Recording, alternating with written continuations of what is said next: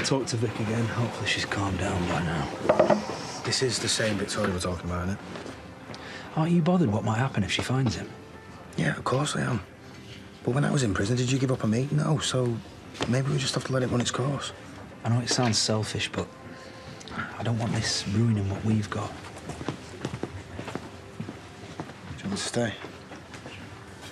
What? Another tear a strip off both of us again? No. Wish me luck. Something tells me you're going to need it.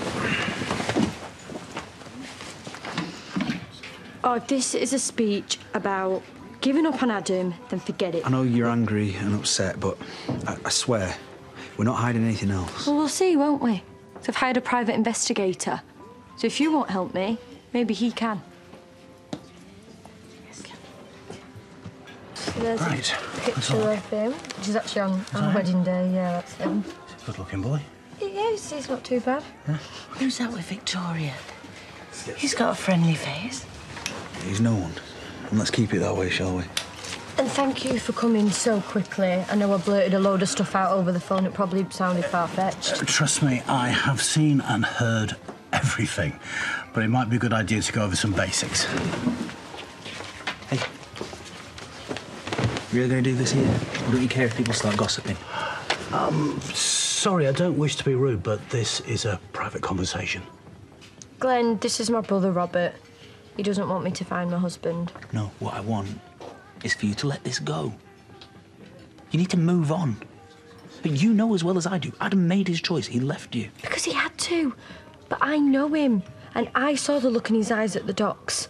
When he got busted out of that prison van, he had no choice. He had to run. Yeah, because it was either that or spend years inside. Would you prefer that? Do you see what I'm up against here? Look, if this is a problem, No, it's not. But let's go somewhere we can talk in private. Because nothing is going to change my mind.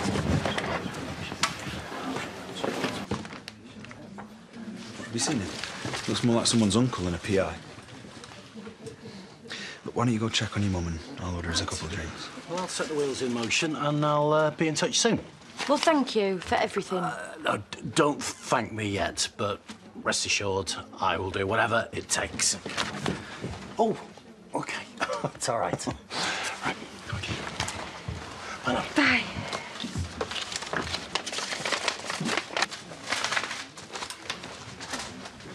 Well, that was all very cosy, I must say. How much have you told him? You are unbelievable. All you're worried about is protecting yourself. This has got nothing to do with wanting what's best for me. Vic, that's not true. None of us want to see you get hurt any more than you already have been. Oh, yeah? Well, maybe you should have thought about that before you sent Adam on the run and ruined both our lives. Well, how's your mum? Worrying about what readings to have at Grace's funeral. Can't even imagine how difficult that must be to deal with. Well, at least Sarah's come round. Now all we need is to get our Debbie out of prison. So, um, that private investigator Victoria hired, what was he saying? Did you hear anything? Just that he was going to start in Amsterdam and work out from there. He seemed to know what he was doing. And that's what worries me. I mean, what if Adam hates being on the run and he's just looking for an excuse to come back? Ah, I don't even want to think about what that'll do to Mum. She's in bits as it is. Maybe I should try my contact. Or you could call Emil, see if he can point us in the right direction. But, so, you want to find him now? No, I want to warn him to keep his head down. We don't need our contacts for that. What do you mean?